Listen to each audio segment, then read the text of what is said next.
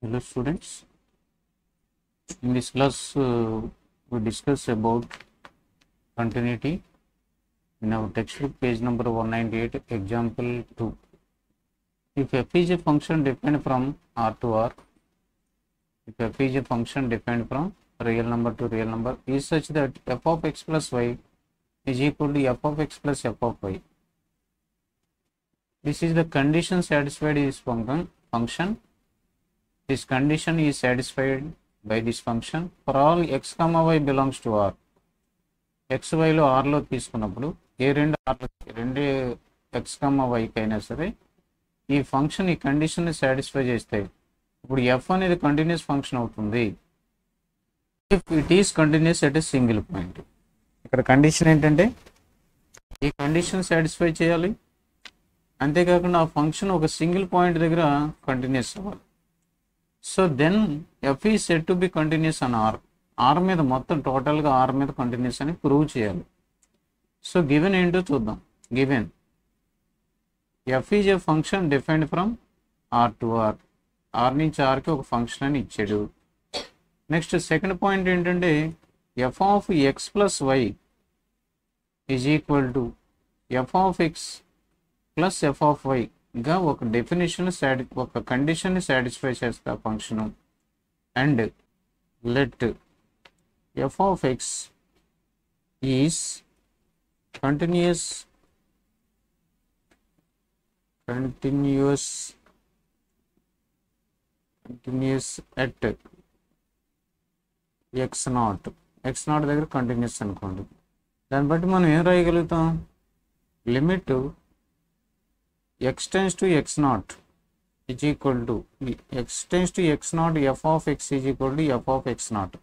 ఇదే కదా మనకి కండిషన్ అదే కంటిన్యూస్ అయితే మనం రాయగలిగేది ఇదే కదా.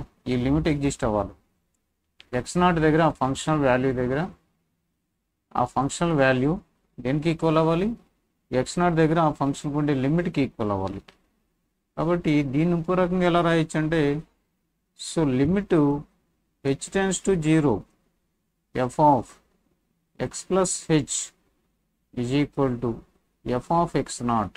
ఇది లిమిట్ మాట ఇది లిమిట్ ఇంకొక అదర్ ఫార్మేట్లో లిమిట్ని రాసే విధానం ఇది.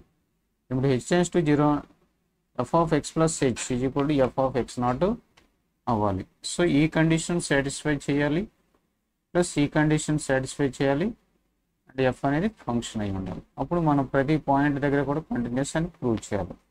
సో నేను దీనికోసం ఏం చేస్తున్నానంటే దీనికోసం ఏం చేస్తున్నానంటే let let x x belongs to R అని కన్సిడర్ చేశాను. ఎక్స్ అనేది ఒక ఆర్బిటరీ పాయింట్ ఎక్కడైనా ఒక వేరియబుల్ పాయింట్ తీసుకున్నాను. దీన్ని నేను ఏం f of x plus h అనేది నేను ఒక ఫంక్షనల్లో తీసుకుంటే ఆర్గ్యుమెంట్లో by the given definition I can write f of x plus f of h అని రాయొచ్చు ఏం చేత వాడు ఇచ్చిన ఫండమెంటల్ కండిషన్ ఇది. ఏదైనా X comma వైకి f of x plus h f of x plus y is కూడా f of x plus f of y రాయొచ్చు అన్నాడు. ఆ కండిషన్ సపోజ్ ఈ కండిషన్ వన్ అనుకోండి. ఈ కండిషన్ వన్ అని ఉపయోగించండి.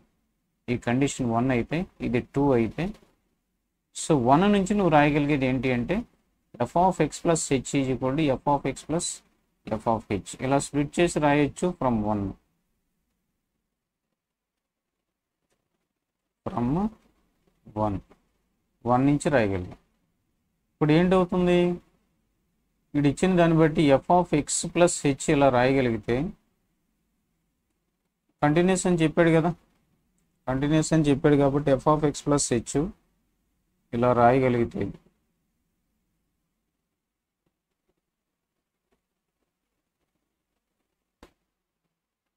ఆఫ్ ఎక్స్ ప్లస్ హెచ్ ఇలా రాయగలం. కానీ మనం పని చేద్దాం. F of x plus h f of x plus h minus f of ఎక్స్ని రాస్తే ఇది ఇటువైపు తీసుకొస్తే is equal to f of h అవుతుంది.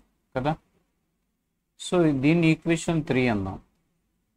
ఇంకేమొచ్చింది? ఈ ఫ్యాక్టర్ రాయగలిగాం కాబట్టి దీని నుంచి ఎఫ్ ఆఫ్ ఎక్స్ ఇటువైపు తీసుకొస్తే ఇది వచ్చింది f of x plus h minus f of x ఇప్పుడు కూడా ఎఫ్ ఆఫ్ హెచ్ అయింది. సో ఫ్రమ్ ఈక్వేషన్ టూ నుంచి ఫ్రమ్ ఈక్వేషన్ టూ నుంచి లేకపోతే ఫ్రమ్ గివెన్ కండిషన్ నుంచి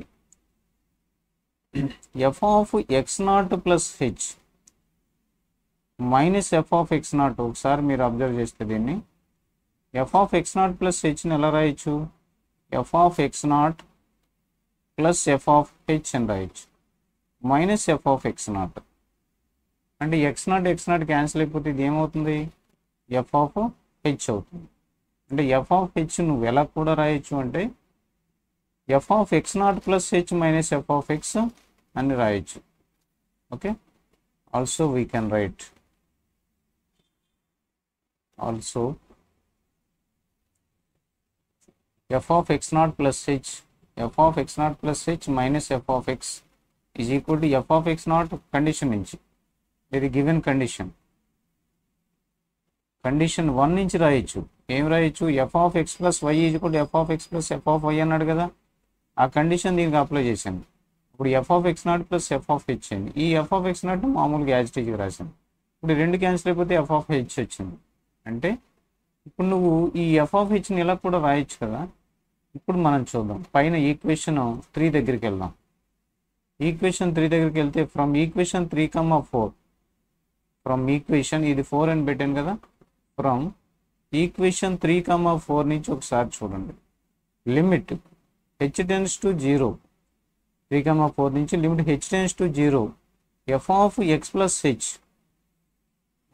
f of x plus h f of x plus h minus f of x is equal to ఏమవుతుంది f of h అయింది ఆ f of h దేనికి equal అయింది is equal to ఈ f of h మళ్ళీ దీనికి equal అయింది f of x naught plus h minus f of x నాట్కి equal అయింది f of x naught plus h minus f of x నాట్కి equal అయింది so దీనికి limit apply చేస్తే ఇక్కడ కూడా లిమిట్ రాయాల్సి ఉంటుంది limit x tends to h tends to zero so దీనికి కూడా లిమిట్ రాయాల్సి ఉంటుంది.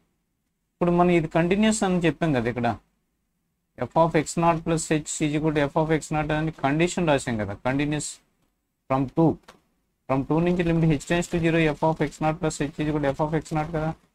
కాబట్టి మనం ఇక్కడ ఏం రాయొచ్చు? ఇది ఎప్పుడైతే మనకి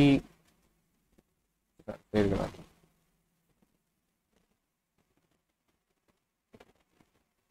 ఏమర్థమైంది ఇప్పుడు? Limit h tends to zero f of x naught plus h minus f of ఎక్స్గా ఎందుకు రాయగలుగుతాం మనం? ఎందుకు రాయగలుగుతాం అంటే ఫ్రమ్ ఫోర్ నుంచి దీని నుంచి. ఇది ఎఫ్ ఆఫ్ హెచ్కి ఈక్వల్ ఈ ఎఫ్ ఆఫ్ హెచ్ దీనికి ఈక్వల్ కాబట్టి ఎఫ్ ఆఫ్ హెచ్ రాసే బదులు f of x plus h minus f of x f of h కదా. సో దీన్ని రాసే బదులు ఈ పైన ఉన్న కండిషనే రాశాను. అది రాస్తే ఏమైంది నాకు? ఇలా వచ్చింది. దట్ ఈజ్ ఈక్వల్ టు యాక్చువల్గా ఇది f of h so that is equal to ఇలా వచ్చింది.